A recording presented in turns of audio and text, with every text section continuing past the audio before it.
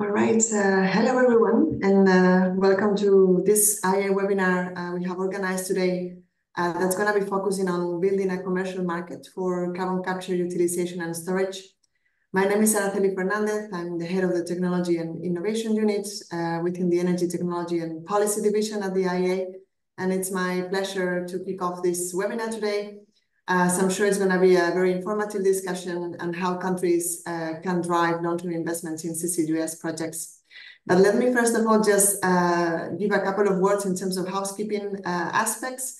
Um, I think we are all very used to these uh, webinar settings by now, but please do remember to keep your microphones on mute uh, while you're not speaking. And please as well, we'd like to invite you to keep your cameras off to avoid any distractions and keep the attention on the panelists that we have uh, with us today.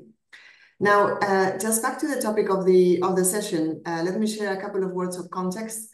Um, we all know, of course, how important uh, CCUS is uh, for the global decarbonization efforts. Um, it can reduce emissions in some industrial sectors in which emissions are hard to abate, particularly when there are uh, no other scalable technology options that could be uh, applied or those are limited in uh, areas such as, for example, cement production. But also CCUS can offer a low emissions alternative for hydrogen production, which we know as well can help decarbonize uh, other parts of the energy system uh, that again uh, are difficult to electrify, for example. In addition to this, CCUS is also uh, the only technology-based solution that can enable carbon removal options. This means uh, removing CO2 uh, from the atmosphere that could be either uh, directly captured from the atmosphere indeed, or that could be indirectly uh, doing this removal effect uh, by capturing and storing permanently emissions that would have been emitted from bioenergy sources. And in a way, this would be the only uh, tool that would allow us to do uh, to reach this net within the net zero um, goal that uh, would be uh, so required. Uh, but we are not here today to talk about you know how uh, CCS important, how important that is to reach our global net zero emissions. We have had long discussions on that. The idea is really to uh, organize this webinar uh, because we've seen that the industry is reaching an interesting uh, crucial point and we wanted to kind of, you know, get together to discuss, you know, what would be the priorities moving forward. Over the past three years, we've seen that uh, there's been an incredible uh, momentum when it comes to project announcements along the value chain of CCUS. Uh, but at the same time, now we just passed January of this year, we've seen how we are just uh, six years away from reaching this 1 billion tons of CO2 capture capacity that will be needed by 2030 to stay on track for uh, reaching net zero emissions by uh, 2050 at the global level. And as positive as this recent momentum is, uh, as of today, again, we are only 5% uh, of the way, we have reached only 5% of the way we need to be to reach that goal by 2030. So the scale up needed to reach this gigaton level of deployment represents a major undertaking. I think there's no doubt about that. And uh, policy support and coordination would be instrumental. So this is why we wanted really to uh, emphasize and, and have this discussion today. At the end of last year, we published a report that takes stock of existing policies that have helped uh, launch CCUS projects to date and identifies the main challenges uh, to future large-scale uh, deployment. The report found that existing policies such as grants, tax credits, and enabling regulatory frameworks, while they are crucial and very important in getting these first projects moving, um, alone themselves are insufficient to scale up CCUS across applications at the required pace that would be needed. As we've mentioned, we are six years, uh, just six years away from that uh, one uh, gigaton. At the same time, Emerging business models are opening the door to new investment opportunities. And with that, shifting these risks uh, and how they are allocated across the value chain and creating uh, new challenges for policymakers uh, that need to be addressed, again, if we want to be successful. The creation of commercial market for CCUS requires a suite of policy tools to address all these challenges associated with CCUS deployment and ensuring that investment continues to flow into CCUS projects at the pace that is needed and that projects are completed on time as well and executed adequately. So today we have uh, had the pleasure to um, uh, have with us three excellent panelists that are going to be unpacking and providing their perspectives into these discussions and these different aspects. Um, we have with us uh, Noah Derrick uh, from the Department of Energy in the United States, also Henriette Nesheim from the Ministry of Energy in Norway, and Norihiko Saiki from the Ministry of Economy in Japan, Economy, Trade and Industry in Japan, apologies. Uh, they will be sharing with us their insights and perspectives on how their respective governments are addressing these challenges and how we can, again, uh, share the risks along the supply chain of CCUS projects to advance on the pace of progress here. My colleague Carl uh, Greenfield uh, from the IEA will be moderating the panel discussion, and after which we will open the floor for questions uh, from the audience as well, again, uh, to have a live discussion where we can get perspectives from all the colleagues uh, joining us. So we'll invite you please to uh, use the Q&A function in Zoom to put your questions so that we can make sure they can be addressed during the uh, panel discussion. But before going into that, I uh, just wanted to first introduce my colleague Mathilde Fajardy, uh, who will be giving us more context on these different challenges that governments are facing, building on the uh, analysis and the research that uh, colleagues undertook in this project uh, that he's been recently launched that I've mentioned. So with that, I'll just pass it over to Mathilde to proceed with the agenda. Thanks a lot. Thank you, Araceli, and good morning, afternoon, evening, everyone who joined today. Thank you for tuning in to this IBA, IEA webinar I'll just give you a quick recap of where do we need to go with CCUS and, uh, and of these tools that policymakers have at their disposal to support CCUS deployment. Um, just looking back at the past decade or so, we see that CCUS deployment has remained relatively flat. Uh, this has been partly due to a lack of policies that really drive investment and support the establishment of a commercial market for CCUS. Uh, and because of this stagnant growth, as an agency, we've progressively revised down the role that CCUS plays in our clean energy transitions from around 1.8 billion ton by 2030 in our first net zero roadmap published in 2021 to around 1 billion ton in last year's update. As you well know, 1 billion ton remains a very ambitious target, uh, which reflects two things. It reflects that CCUS still plays a key role in decarbonizing selected sectors, but also it reflects the positive momentum we've been seeing uh, in the past years. Now, as Araceli mentioned, this momentum alone won't take us there. To reach this 1 billion ton by 2030, we need momentum to continue, but most of all, we need projects to reach a final investment decision and commissioning. And since time is pressing, we need project lead times to be reduced. And at the sectoral level as well, we need deployment to also accelerate in sectors that are really key for net zero. Currently, over two thirds of operating capacity is on applications such as natural gas processing, but attention needs to be particularly placed in other applications such as industry, carbon dioxide removal, power, and hydrogen. So what needs to happen to achieve these goals? We mentioned new business models, uh, which include, for example, large CCUS hubs and networks, which represent an opportunity to help shorten lead times uh, for new capture projects to connect to infrastructure, but also to reduce costs and to allow a wider range of emitters to access CCUS solutions. This is all very positive, but challenges do remain on the road to scaling up CCUS, some old and some new created by these new business models. So what can policymakers do to support deployment?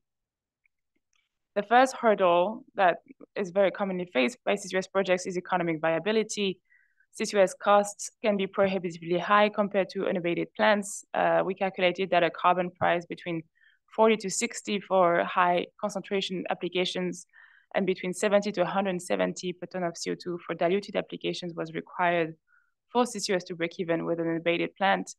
This is not entirely out of reach. If we take the example of the EU, we saw EU ETS prices around $85 uh, per ton in 2022, but this level, as you can see, is only sufficient to incentivize certain applications. And as we have we've seen in the past year, carbon prices have also decreased uh, significantly since then. To level the playing field with innovative technologies, governments can first retain cost reduction measures that have helped contribute to operational projects to date, particularly for first or second of a kind projects uh, for applications that are particularly important for net zero. Um, But to expand deployment, as Araceli mentioned in our introduction, more tools are needed.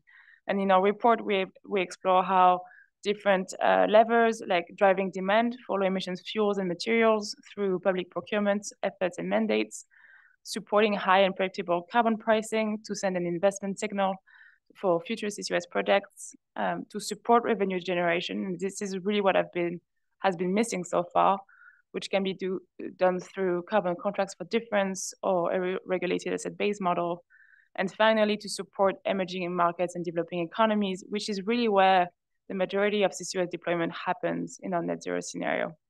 So that can be done through dedicated international funding instruments, in addition to um, uh, other finance instruments such as concessional finance, sustainable debt, etc. The second challenge is really to reduce lead times. Uh, if we look at operational projects to date, we can see that lead times have been, uh, or projects have taken anywhere between two to over 10 years from announcements to commissioning, with a median around six years, and we have now just just six years to reach uh, to to 2030.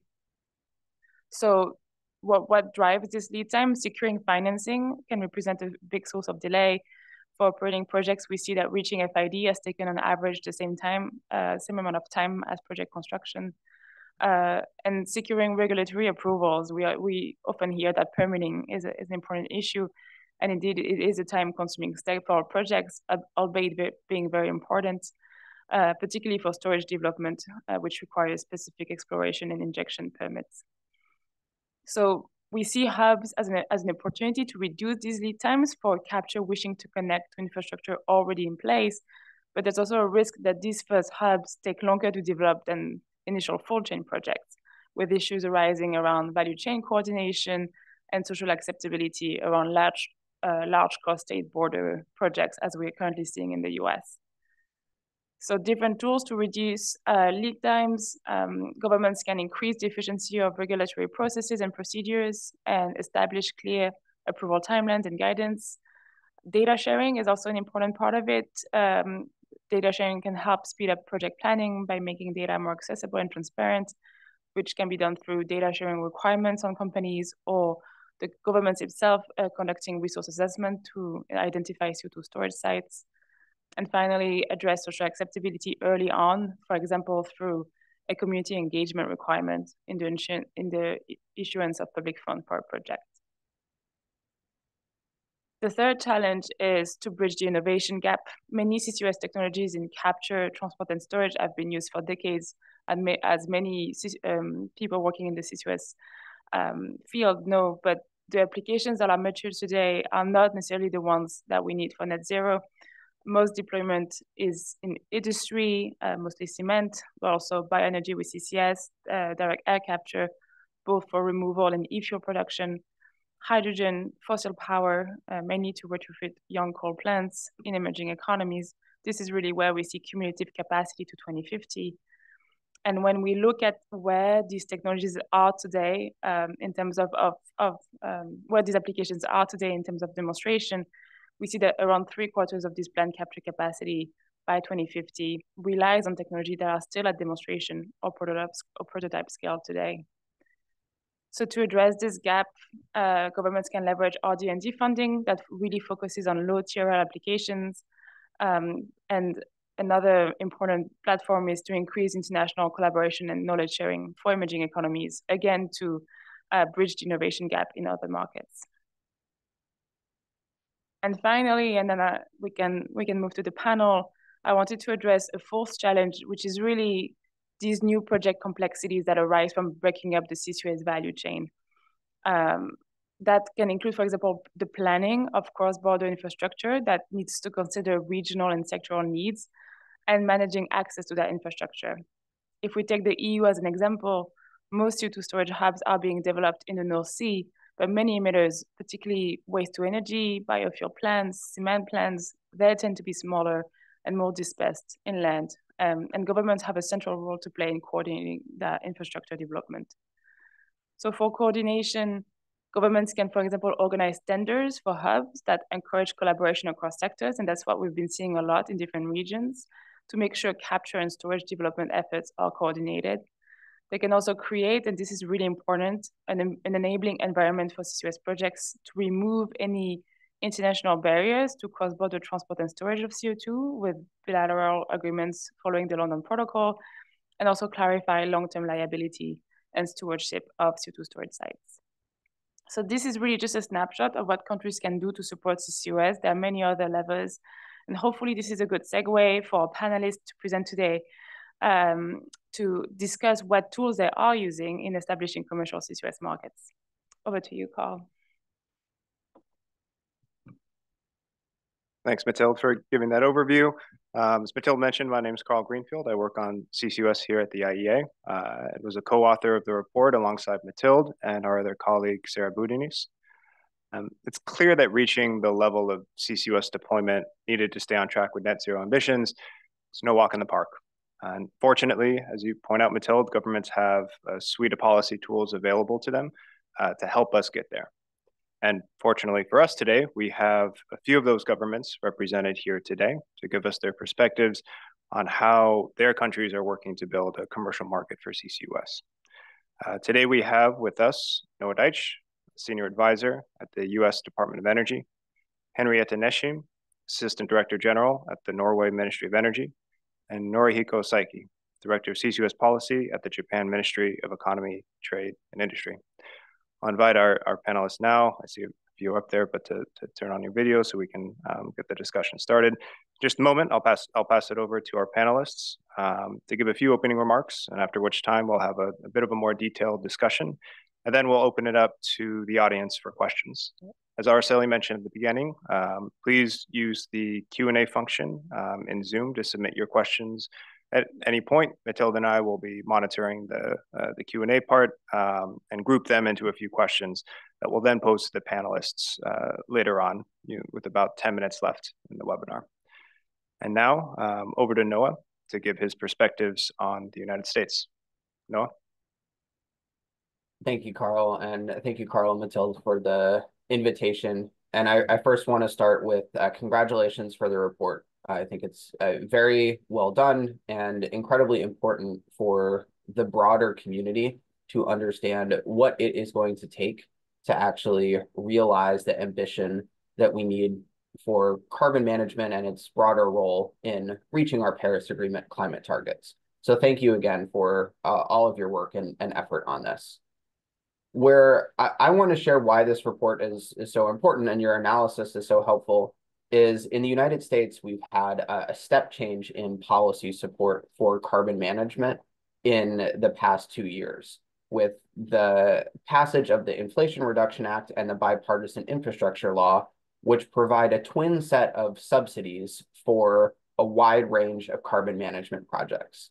These subsidies come in the form of the 45Q tax credit, as well as uh, grant funding to the tune of around $12 billion or so over the next five years for commercial scale demonstrations of carbon management projects across the entire value chain and end use cases. And so what we are seeing in the United States today, I think is a, a real indication of, of what happens in a government funded but industry led policy framework. By that, I mean that we have no strong mandate for any industry to actually do carbon management. Instead, what we have is an entirely voluntary framework that offers a significant subsidies. And so our experience is in that context. We're decidedly using one arrow in, the quiver um, that was identified in the report, but not creating the type of regulatory mandate that many other countries around the world are pursuing. And what we're finding is that this approach is uh, leading to some interesting early commercialization dynamics. The first of which is that there's an enormous interest in the field compared to where it was two years ago. We have seen the number of permits for geologic storage of CO2 rise over tenfold in the time frame since the passage of these two climate bills in the United States. So interest is clearly there. At the same time, we have yet to see any projects reach final investment decision um, outside of the high concentration sectors that tend to be the most economically profitable. And so we see very little interest in industry financing the hardest to abate and often the most expensive sectors, instead really focusing on the, the lowest cost opportunities today. And, and that makes uh, perfect sense given the subsidy is set at a flat level and does not vary depending on what type of capture source or end use we're talking about. I think the the other key dimension here is that we are seeing significant uptake of government incentives for those hard to abate sectors. So once we do specify whether we need projects in the power sector, industry, or uh, direct air capture, we are seeing significant uptake in interest in those incentives. And so only with this combination of incentives, uh, both general for the industry as well as specific to different end use sectors, are we seeing projects actually reach um, commercial viability? And so I think the thing that we are, are learning here in the United States is one, the power that a, a subsidy framework can provide, but also its limitations. That really subsidies coupled with a mandate that the the need for carbon capture or, or any form of carbon management will ultimately be required is what is the most important for actually increasing the urgency and moving the entire industry quickly as opposed to just focusing on the the high costs uh, or sorry the high concentration low cost applications initially and so we don't have a a recommendation for what we think the optimal policy framework is we actually think that will vary and depend based on every local uh, political context and where where existing policies and regulations make the most sense. But we think that having that dual framework of both having the incentive as well as a long-term mandate or even the expe expectation of that is something that that's really important. The last piece that I'll, I'll conclude on is aside from the the incentive and or mandate framework, figuring out how to support the, the strong implementation of regulation around permitting, both of the capture, transport, and storage, is really important for investor confidence in these projects. Our expectation is that once investors do have confidence in applying carbon management to different end cases, that we will see uh, financing flow quite quickly into these projects, but the whole field remains new. And while projects have been getting permits um, at a, a slow pace, we expect that this having the certainty about how long the permitting process takes and having the experience working through it is something that is really important for the field overall and is not something that we think can be done without practice and trial. And so figuring out how to do that, having the, the flexibility early on to work with industry and communities to make sure that projects are implemented in a, a strong and robust way is something that's really important. Because at the end of the day, we absolutely need to have carbon management projects across a wide range of um, use cases and then almost certainly we'll need to have carbon management projects at scale in many of the hard to abate industrial sectors like cement and in the carbon removal space uh, as well. And so figuring out how to both have a breadth of early demonstrations across use cases and then focusing resources where they're going to matter the most for climate in the long run is something that I think we have no time to wait on and uh, are eager to collaborate with with others around the world to figure out how we can go farther and faster together on this important climate topic. So thank you all again for inviting me and back over to you, Carl. Thanks, Noah, for those insights. I think you're completely right. Faster and farther together is, is definitely how we, we start to chip away at these challenges. Um, and uh, interesting point you made also about the um, the US's approach to building this commercial market. It's very much government funded, industry led, um, sort of this voluntary framework. Um, and so now this is actually sets up well for our next panelist, Henrietta uh, Nesheim of, of Norway. Um, and I'll invite Henrietta to give a, a, few introductory remarks and to hear how Norway has started to create this um, this commercial market. Really, because uh, one of the first projects starting out of Norway actually came from a bit of a heavier hand on the regulatory side. Um, so it's interesting to contrast these two countries right next to each other. Henrietta, I'll pass it over to you. Thank you very much, Carl, and uh, thank you for the invitation to join this panel today. And I also read your report with great interest. I think it's uh, absolutely excellent. Um, well, Norway has been quite eager on uh, CCS uh, for many years. It started early on as an early mover on this. And we also have experience with two real projects that have been in operation for almost uh, 30 years, uh, and Snøhvit, related to the um, petroleum uh, activities. So uh, we know that this is kind of safe. They are all uh, stored offshore in Norway. So we have very good um, capacity for offshore storage due to our geological formations on the Norwegian continental shelf. So how has it developed over the years? I think it's fair to say that this has been a little bit of a roller coaster. It's been moments of high optimism. This can solve many things. And then nobody believes in the technology. You are kind of accused of greenwashing. And then now I think it's really, we really see a new momentum. And I think it's also because we are, it's also becoming evident that we need uh, a technology for the hard to abate sectors, and that this is very important for the to achieve our climate uh, targets overall. Uh, and I think um, we are a small country. We um, we really um, have always cooperated very closely with our neighbors, and we don't also have enough uh, emissions to to fill up this storage or it, to make this a commercial market on our own. So we really have to do this together with the Europe, the EU, or the, the UK and the countries around. So, but we, it's true that the, our geological potential for storage is quite uh, significant, but then it needs to also be kind of a viable model for this. So um, uh, I think we uh, have to also uh, see that as an early mover, we choose to uh, to try to solve some of these uh, chicken and egg programs that we always hear about, the coordination issue.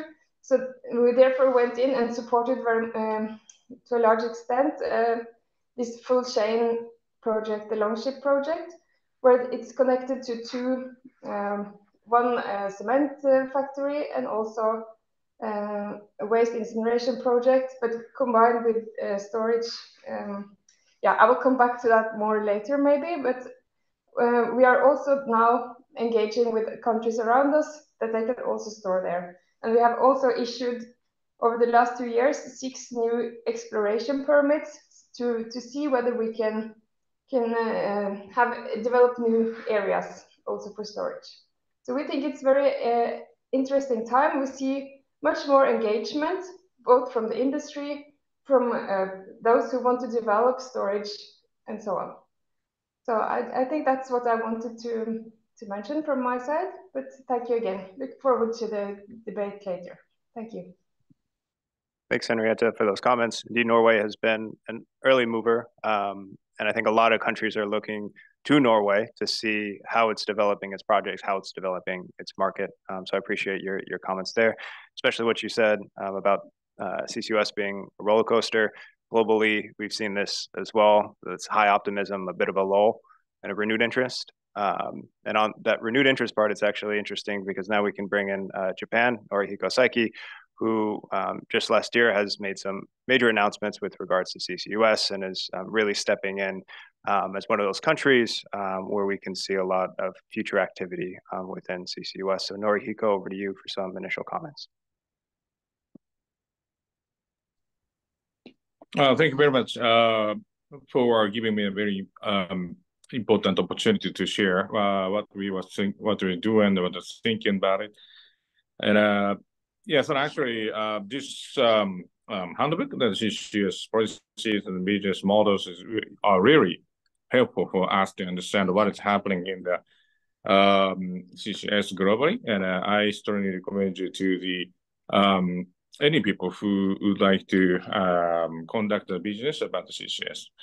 Um, yeah, thank you very much for uh, recording the, um, the our uh, very basic strategy of the CCS. And uh, last year we uh, published the CCS roadmap, long-term roadmap to our materialize our efforts, long-term efforts. It's more than 25 years. So we just uh, went through the um, two major uh, CCS demonstration projects, and uh, and we also uh, conducting our um, R&D activities um, through uh, our um, uh, uh, brother um, institutions, research institutions with the US and Australia and the European countries and UK. And so, so um, yeah, so, this, so our biggest update for now is just we uh, got the got the um, uh, cabinet determination to officially propose our bill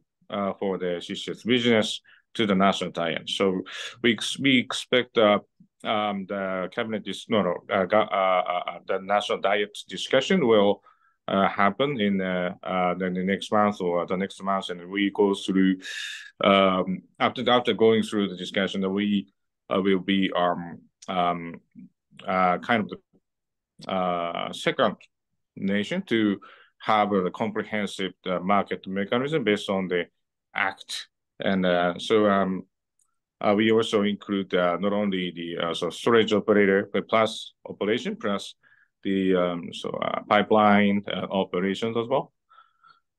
Um, yeah, so uh, yeah, thank you very much for, for sharing the the um, information and the policy from the we we learned a lot from the U, US experience and uh, Norway's experience. So so we somehow try to catch up um, even at this moment. And so um, I would like to uh, add the two bullets in the page 737 uh, in the enabling legislation and rules and the regulation of industrial activities in this um, um, in this box. And uh, the other thing I should mention is about um, so uh, export of the carbon dioxide, and so uh, we are currently uh, try to uh, obtain the ruling party's permission to make a um, uh, official uh, cabinet determination to propose to um, accept the amendment of the London Protocol, Article 6.2.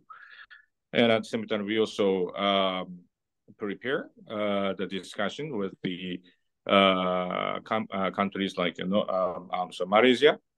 And then last uh, October, we uh, made uh, MOC with the Malaysian National Oil Company, the Petronas, and with the, the Japanese NOC, JOGMEC uh, try to develop our um, perspectives about uh, how the export-import mechanism will be made uh, in the context of the CCS.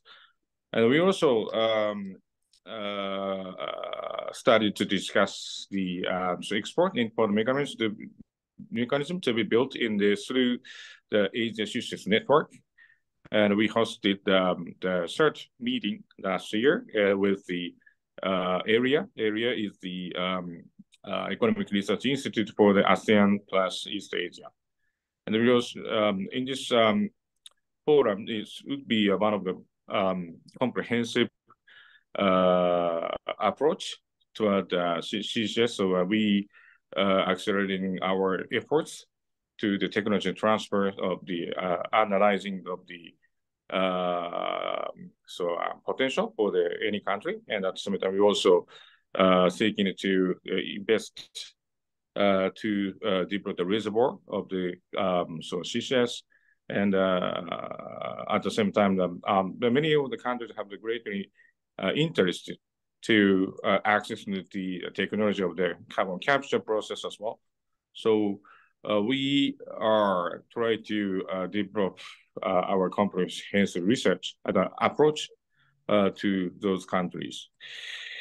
And uh, and at the same time, we also are currently promoting the, our R&D activities about um, uh, liquefied uh, carbon dioxide ships.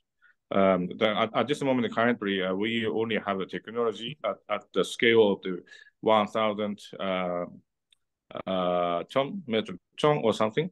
But at this moment, we are conducting um, our research to low low pressure and low temperature uh, liquefied ship that enabled us to develop the, from 40 to 60 metric ton, which is most uh, which is almost equivalent to the LNG uh, carrier. Uh, so I think the um, in that case, I think the Asian countries like us and South Korea and Taiwan and uh, uh, Singapore uh, can can export the carbon dioxide at the commercial scale level. So that will be the one of the most um, um, efficient and plus uh, very important uh, measures to uh, materialize it, to develop the international market of the carbon dioxide trade. Um, regarding this, regarding the cost, I think this cost is still issue for the, any country to develop, uh, deploy the, the CCS uh, system. But uh, when it comes to the onshore uh, uh, CCS project, our scale is expected expects the it would be um, around uh, uh, from eighty five dollars to the one hundred dollars at this moment. So per per ton, metric ton. So so I think the, that'll be almost uh, equivalent to the um, uh, carbon pricing in the European countries. At this moment, in, in Japan, there is no uh, specific um, carbon pricing at this moment, but uh, we will also discuss the um, so uh, establishment of the um, legal-based um, uh, carbon uh, trading system as well. So in that case, I think the, the that um, the carbon pricing will also be the one of the important incentives for the private sectors as well. So um, we are currently promoting the uh, the discussion about uh, uh, OPEX support, and uh, as as the uh, as you may know, and we uh, launched the um, so advanced CCS program to select seven projects, including two international projects, and currently we are discussing how to um, uh, ensure the commercial commercial operations of the CCS. So uh, we planned and we researched a lot, uh, but I think there's no absolute goal or absolute consensus the how to support the financially. But uh, our tentative um, analysis shows that uh, there's a certain combination of the support mechanism is needed to facilitate uh, um, enabling the commercial commercial operation. So number one is the grant. Number two is the credit system. Number three is the tax incentives as well. So, so I think that there's a, a combination needed. So uh, we are currently initiate the discussion uh, to uh, how to uh, commercially operation commercial operation of the CCS business. Um, yeah, so, so actually uh, we recognize that we are a little bit delayed uh, compared to the US and the European uh, experiences. So we would like to know more about it. So uh, uh, please collaborate with us. And of course, um, there's other um, potential uh, customers about the about the deep um, as a collaboration collaboration about the deploying the more CCS capacities. So uh, we also would like to seek the technology transfer opportunity for those countries. Thank you very much. Uh, back over to you, Carl. Thank you. Thank you very much, Norihiko, for those comments. Um, I think you're you're very much right. A combination of support mechanisms are needed. This is something we outline as well in our report, and it's interesting to see Japan start to develop its um, its policy structure and incentive structure, taking a little bit of lessons learned from the United States, for instance, from Europe, from Norway, um, from different countries around the world. Um, uh, so with that, actually, we'll um, we'll start a little bit more of a detailed discussion between the panelists. Um, there's something that we've been thinking about here at the IEA for the last year and a half, almost two years now um, and that has to do with lead times. So as Mathilde pointed out in her presentation, it takes around six years on average for a CCUS project to get up and running. Um, these long lead times put the world at risk of reaching the level of deployment needed to stay on track with net zero. Um, so I'm curious to hear from the panelists what what are what can governments do to reduce some of these project lead times, and what extra steps could the private sector be taking to move projects into operation? I think uh, first we'll start with uh, with Noah, um, mainly because Noah, you you called it out in your opening remarks, um, saying that regulatory support around permitting um, is really key to enable uh, investor confidence in in projects as well. So Noah, um, we'll start with you, and then um, Henrietta Norihiko, feel free to chime in afterwards. Yeah, thanks, Carl. And while these projects have taken a long time to develop in the past, we do not believe that that's a fundamental feature of these projects. We think they can be developed in a much shorter timeline um, in the future if the incentives are aligned to do so. And I think here in the US, we're trying to do that through um, coordinating all of the different regulatory pieces. We have uh, legislation called the FAST 41 legislation that enables developers that have to apply for multiple permits to do so in a coordinated fashion with a, a commitment to doing so in, in less than two years for the full range of carbon management projects. So we we recognize this is something that is really important and understand that permitting piece is um, essential. At the same time, it's going to take that industry leadership both to uh, support this with a, a, little bit more transparency early on um, on the data sharing not just with uh, government and and other um, financial or industry stakeholders, but making sure that the community is uh, engaged and uh, really bought in from the beginning. We've seen this be one of the key barriers in the United States context, but we also see that many communities are very excited about carbon management projects. So figuring out where to do these projects and then also how to provide benefits to those industries so that they are directly being supported by the economic um, opportunity from these projects and making sure that any environmental impacts are mitigated is something that's really important uh, to make sure that these projects can move more swiftly. Thanks, Noah, for, for those comments. Um, Henrietta or Norihiko, do you have anything to add on this? Yes, um, I think that overall we just have also have to acknowledge that large scale uh, uh, infrastructure on energy it is time consuming to develop and it has long lead times. And if you look at, for instance, uh, cross border electricity grids, I think the average is ten years. Not uh, that puts apart. I think, of course. Um, we should encourage governments to have a speedier process on permitting, but at the same time, we need to keep in mind that these processes are also there for good reasons. And often they, it takes time with timelines for public consultations and so on, and public hearings.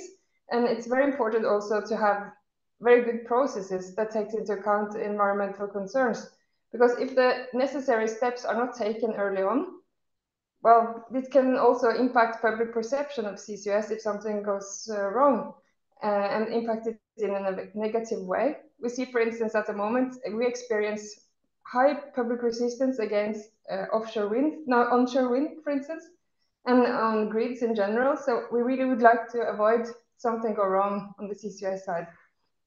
But it's true that also what has been mentioned here, that the regulatory framework and commercial conditions, they are uh, oftentimes developed in parallel as the projects, because this is kind of a new activity. So um, and we also see that by all the national strategies on CCS that are developed uh, these days. So I think we, um, as the governments, we can always alleviate some of the risk of the project, whether it's on uh, funding or whether it's on on the, the regulatory aspects. I think that also, if you look at it from the private uh, sector uh, um, uh, take their point of view, these are very high, Uh, some of these projects are very, very big, so they would also need time. The, the more costly a project is, the more solid analysis and works need to be put in place to have to also provide the right permits and to to applicate have the permit applications, but also for their own to be able to take the next uh, steps in the um, decision making. So and also uh, as the projects mature, new technological aspect may pop up and then they have to be handled. This is at least what we have experience from. But I just also want to emphasize that there is a need for uh, collaboration between industries and also to develop uh, trust uh, and partnerships all along. So I think that also I, I share Noah's view that I think that the lead times will be reduced over time as we gain more experience and that the projects become more standardized. Thank you. Thanks, Henrietta. Um, and of course, also appreciate your comments too on need, the need to maintain um, sort of the environmental integrity, but also the social integrity of uh, projects during the permitting process. Um, Norihiko? Yeah, thank you very much. Um, yeah, so the CCS market is still pretty much pretty mature at this moment, and so there's no um, existing the pipelines, and uh, uh, there's no um, limited players uh, of the operators and uh, at the same time the users. So um, unfortunately, we have um, every knowledge, all of the knowledge about what would happen in the market activities of the CCS. So at this moment, we would like to gap, we would cover up the uh, cover the gap, and we would like to increase the communication among the uh, those players. So um, so we are usually have a monthly meeting of the, the all of the, all of those um, market players and try to understand that their um, um, their how how, how the, the risk will arise and uh, how to cover the potential risks. So so um, yeah, I think the this is the the, the, the nature of the or the or the maybe the steps of the market is still premature. So that that'll be the one who was, was our hit at this moment. And um, of course, um, um, there's a certain uh, mechanism uh, based on the um, the regulatory schemes will uh, support the business. So uh, uh, there's a certain mechanism to, to provide the exclusive right to a certain exploration and operation. But uh, then of course, um, um, the grant system is also um, covers the potential threats. And so, um, but we are still learning at this moment. So, so um, yeah, so we we we we learn a lot of things, and uh, and not only uh, the headaches from the Japanese companies, but also uh, we also access to the the foreign counterparts, and I try to understand what happened. So, and the communication is uh, is uh, is very important at this moment can completely agree on that. And um, and actually, I think the Tomakomai project in Japan is an excellent case and a success of that early onset communication of, of a project. Um, so thank you all for those comments. Um, maybe I'll ask one more question to the panelists, and then we can open it up to the, the questions from the audience. So um, again, uh, please feel free to use the Q&A part of the, the Zoom call. Um, this this question is is geared more towards Henrietta and Norihiko specifically. Um, Noah, feel free to chime in as well. But um, it's it's really because we start to see Norway and Japan look beyond their borders um, for CCUS projects. Um, Norihiko, you mentioned this in your comments in terms of exporting CO2. Um, and of course, Norway having um, more storage availability than they have emissions um, is a natural uh, business model to import CO2. Um, so I'm I'm curious to see what kind of challenges that you two are seeing in developing these cross-border projects? And what words of advice could you give to countries who are considering developing these projects? Uh, maybe we'll start with Henrietta first. Thank you, Carl. Um, well, the coordination issue along the um, value chain, uh, that is, of course, amplified uh, cross-border. But I think that my best advice would be to remain patient and pragmatic and to continue to build uh, trust and cooperation in a long-term perspective, both at industry level as well as uh, government level.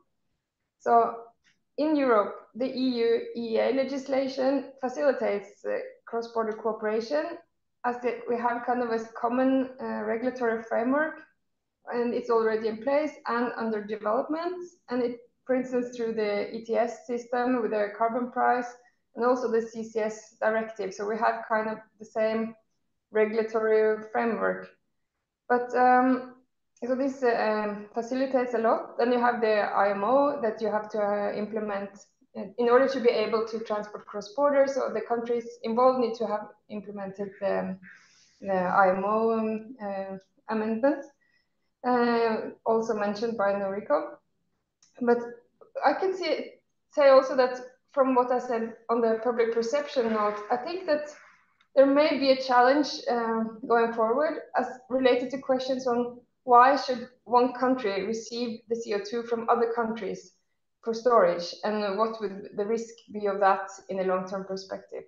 But apart from that, I think uh, the I think that's the main challenge cross-border. Thank you.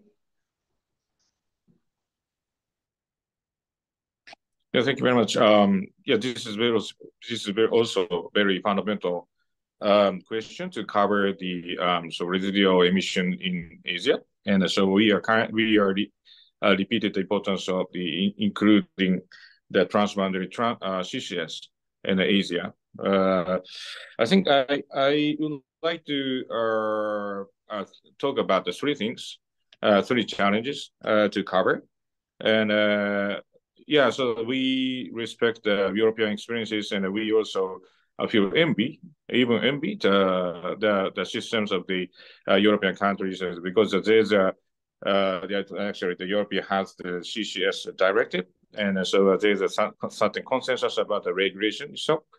And uh, the other thing is also very important. The ETS system is also very critical and important. So um, um, when it comes to the so um, consent uh, uh, agreement or arrangement between the nations, I think that it's rather very simple.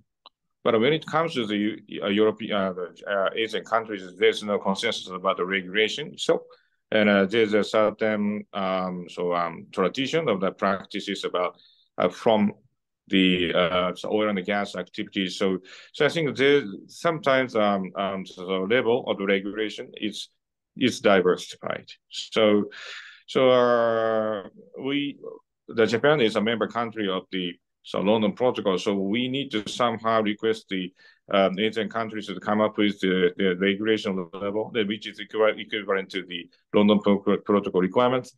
That, that is also uh, that, that is the, the first headache for us. And this, the other thing I need to uh, mention is about uh, uh the regulation is the um, so um, lack of the ex experiences that operate. No, not, not only for the uh, so in the industrial sectors, but also we also um, request um, so um, the ministers or the regulatory bodies to um, learn and uh, get their own experiences to operate the regulation. So, so so we are currently seeking to um, the uh, building certain opportunities for the uh, um, the staffs and the uh, members of the regulatory bodies of the um, those uh, regulation uh, of the CCS reservoir operation so, and and at, at the same time, um, um, um, there's no certain supporting mechanism for the emitters to uh, provide uh, uh, uh, the carbon dioxide. And so, um, for the most part, I think that around the 2030 or 2040, uh, I think there's a limited uh, um, emitters or emitter countries uh, can only uh, export our carbon dioxide uh, to the, those um, the reservoir. And and and and uh, um, that that that is that um, that's a certain condition to uh, uh, operate the reservoir commercially uh, in those um, ASEAN countries. So um, uh, for, for the exporting countries like us and South Korea and Taiwan, I think they can support the, as a government support to the emitters. The wizard, I think the, the, the, the little, little numbers of the, the money can support the emitters, uh, those um, ASEAN countries and the companies. And the last one is the investment. So uh, for the developing the reservoir, so we are um, requesting the um, the national diet to uh, add the function to uh, invest uh, the board development uh, to the our uh, NOC of the JOGMEC.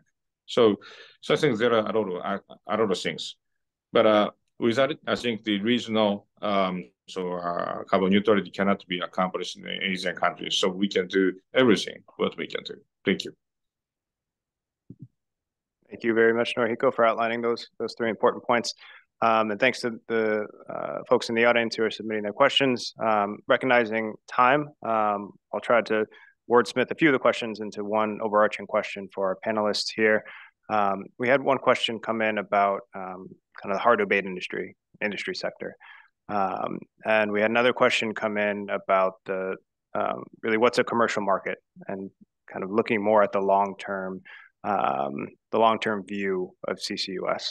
Um, and so in in a, a, botched effort to try to combine these two together, I'll start with Noah. But I'm, I'm curious to hear how the U.S. is approaching um, some of the um, the hard to abate sectors, incentivizing um, capture and hard to abate sectors. Um, really more long term, um, how do you see the development of this quote unquote commercial market for CCUS? Um, tax credits, grants in perpetuity, or in a different way? Over to you. Yeah, so I, I think answering that second question first, this is fundamentally pollution control. It carbon management does not create energy. So we have to think about this as how do we incentivize that waste management activity, which this fundamentally is. That's going to require some sort of government intervention, whether it's subsidies, regulations, combination of the two. It doesn't really matter in the long run as long as it happens. And so there are plenty of commercial waste management or pollution control markets. All of them have some form of government intervention. And that's really why our strategy in the near term at the Department of Energy and really in the US is focused on optionality. We're not entirely sure how fast alternatives for carbon management on the decarbonization front are going to emerge. We're investing heavily to make sure that they do emerge as quickly as they can. So electrification, fuel switching, um, other types of uh, approaches. But at the same time, we need to have carbon management as a backstop in some of the events that those solutions face headwinds that are are unexpected or are expected and we can't overcome them as quickly as we needed and at the same time there are other solutions where replacements are just decades away from commercial maturity and so we need carbon management in those at scale quickly and so that's really how we're thinking about that both on the breadth of use cases to to demonstrate and have that optionality but focusing today in the, the areas where there are the fewest replacements today that really matter the most for climate. Thanks, Noah. And over to Norihiko and then Henrietta afterwards.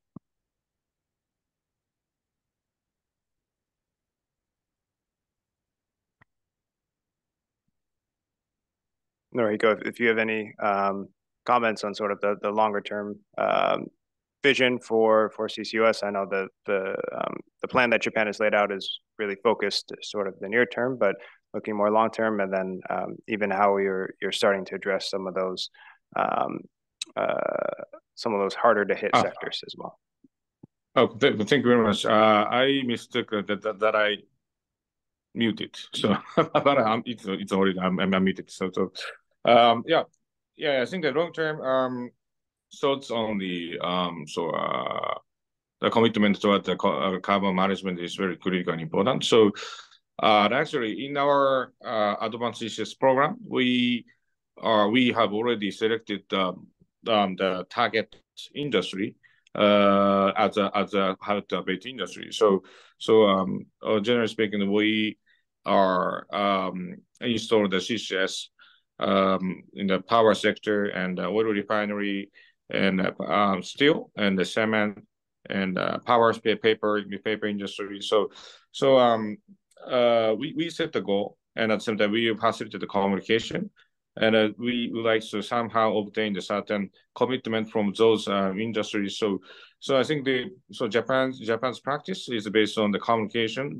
between the uh, government to the industry. So uh, by doing so, we somehow try to um, uh, programmed our the important their requirement and their request uh, into our grant system. So so um, yeah, of course. Um, um, so our, our, our monetary based um, incentives is very critical, and then and a regulatory uh, based um, is also very important. But uh, in, in Japan, we are somehow trying to communicate and uh, obtain their uh, confidence about uh, using utilizing the CCS or other other means to accomplish the carbon neutrality. And uh, yeah, so um, the communication is very important for us.